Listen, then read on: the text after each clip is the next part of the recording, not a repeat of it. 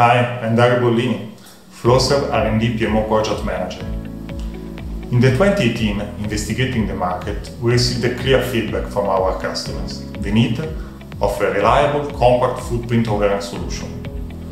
To consolidate our position in the oil and gas and hydrocarbon industry, we decided to develop a new version of the well-known HPX pump, based on the same wide hydraulic coverage.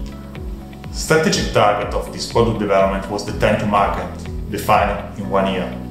Challenge accepted. In the 2019, we officially launched into the market the new HPX-V pump.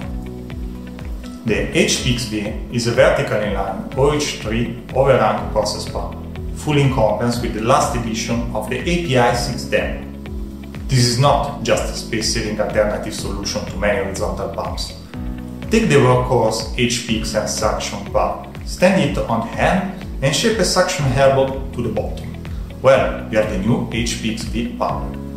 This means that the HPX-V line shares several different components like the impeller, the bearings and the beams with the OH2 version, allowing you to reduce parts inventory and carrying costs. The HPX-V is available in three different hydraulic configurations.